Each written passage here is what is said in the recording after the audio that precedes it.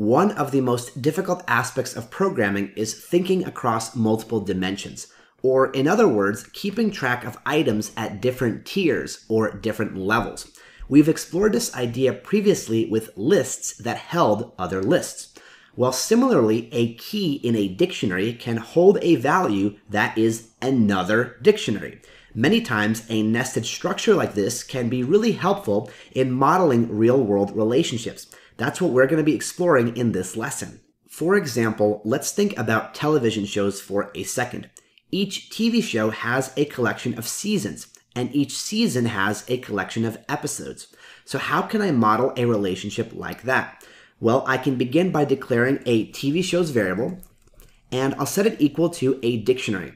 I'm going to break up this dictionary over several lines and each internal key value pair, I'm going to indent one level deep. And I'll show you why this is beneficial in just a second, because as we start declaring more nested dictionaries, we're going to keep nesting the indentation of each one so we can identify where each one begins and ends.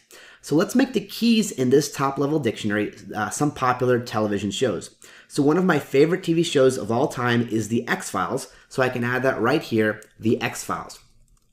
And to this string key, I'll assign a value of another dictionary, right? The value can be any Python object, so why not a dictionary?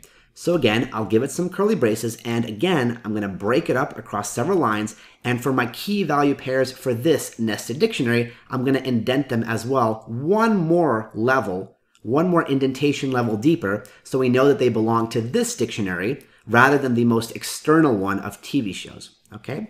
So one key that I can put here that seems fitting is season one.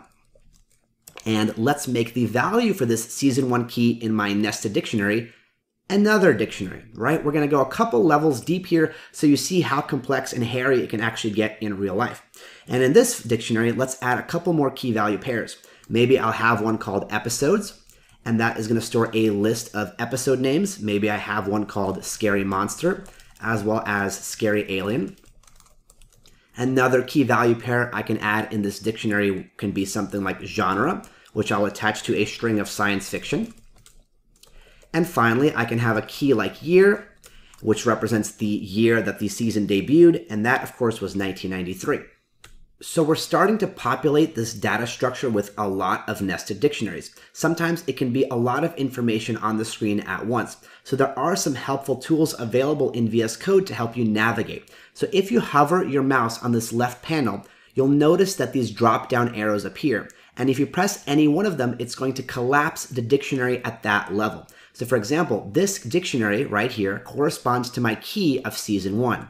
So if I press this collapse button, it's going to hide it. It's not going to delete it, it's just going to hide it. You can see here my line numbers jump from three to seven, which means it's kind of uh, hiding lines four, five, and six. And I can do the exact same thing for any level or any indentation of this dictionary all the way to the top. So for now, what I'm going to do is expand it back so you can see the entire image.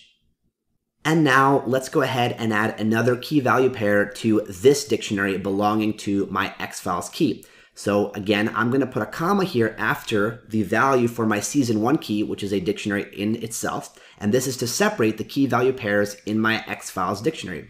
And here I can provide another key value pair. Maybe I'll have a key of season two, which will also correspond to a dictionary right? And really the goal here is just to practice declaring these multiple nested objects because many uh, common problems that beginners uh, run into with nested data structures happen here. So one common problem, for example, is forgetting a comma or adding one too many commas. So I recommend you follow this lesson and then try to go even uh, more levels and layers deep. So you sort of start to get a sense of just how hairy and gnarly it can get.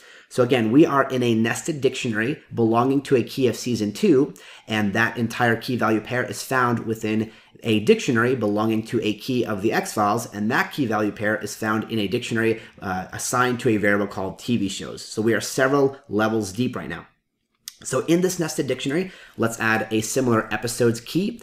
I'll assign it to a list with a single string of scary conspiracy and maybe the genre for season two was a little bit different. Let's say it was more horror based, and the year for it was 1994.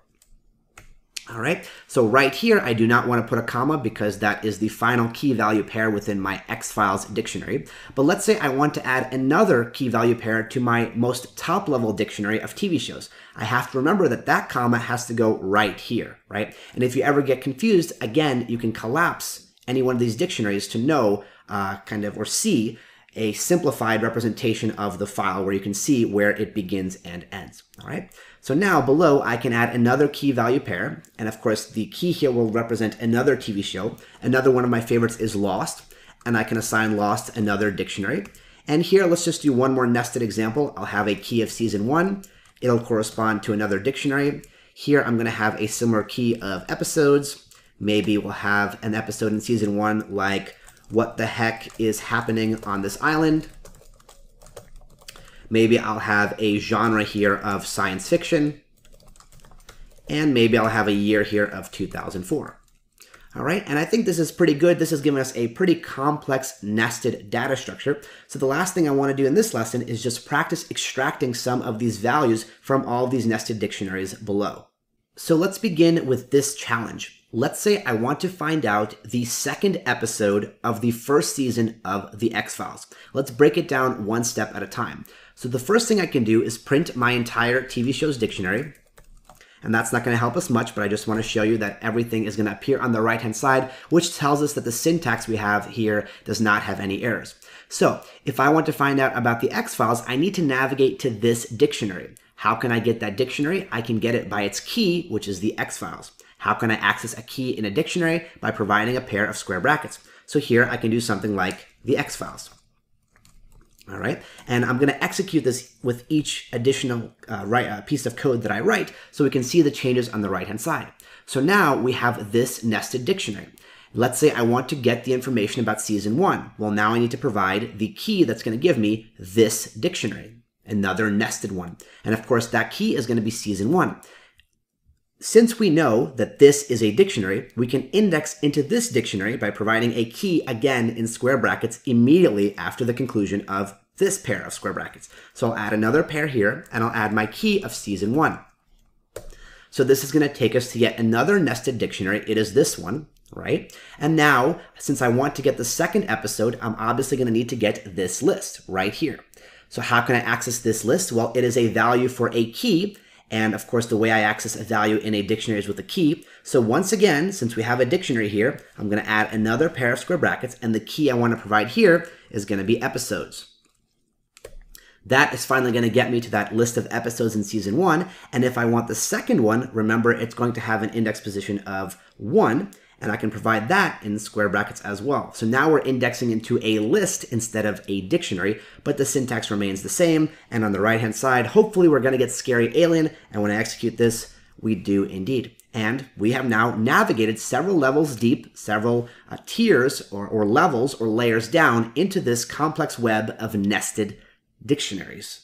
Let's do a couple more examples so that you have a chance to practice this. What I encourage you to do here is that you pause the video and try to write out the syntax yourself, and then I'll take you through how we actually solve it right here.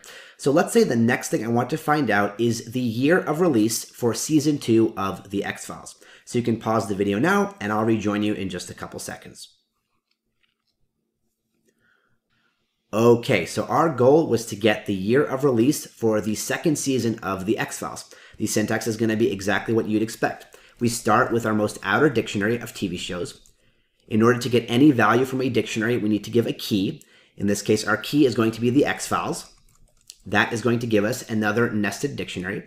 In here, we have two keys, season one and season two. I, of course, want information for season two, so I'm going to access that key in our nested dictionary. That is going to give us yet another dictionary. We see it displayed right here and I want the year of release, which I can get as a value for the key of year. So here I can provide that key again in square brackets. It's a string, so remember your double quotes as well. And here we can find out that the year of release was 1994. And here's one more challenge to close this lesson off. Let's find out the genre for season one of Lost. The syntax for that would look like this. Once again, begin with our most outer level dictionary. It has keys, two keys in fact, the X-Files and Lost. We want the value uh, for the Lost key. That's going to give us a dictionary. It only has one key value pair, and the only key in there is going to be season one. And that's going to give us this nested dictionary. And of course, in here, we want the key of genre. So again, we provide it in square brackets. We're just going further down and further down into all of these nested dictionaries. And that allows us to find out that the value for genre for season one of Lost in our TV shows at dictionary is science fiction. And that's all there is to cover in this lesson. We talked about nested dictionaries. The value for a key in a dictionary can be any valid Python object. It can be a string, a number, a float, a list, or another dictionary. And as you can see, there are certain real life scenarios that just have that nested structure, okay? And you may argue that this may not be the best way to represent this. For example, I could have said, well, since the seasons imply some idea of order because season two comes after season one, maybe it would have been a better idea to store this content in a list, right? That way we, we might have a list of dictionaries. The first dictionary would represent season one, then season two, etc. Uh, and that's absolutely valid depending on the program that you are designing. But of course, the goal here is to just start thinking more about nested structures. An object that holds another object that holds another object and that holds another object.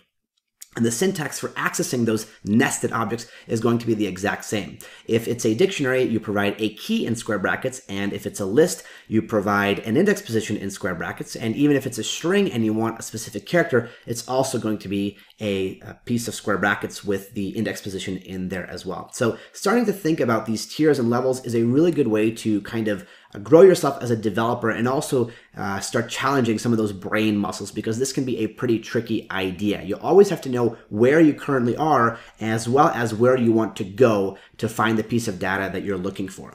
That's all there is to cover in this lesson, so I will see you in the next one.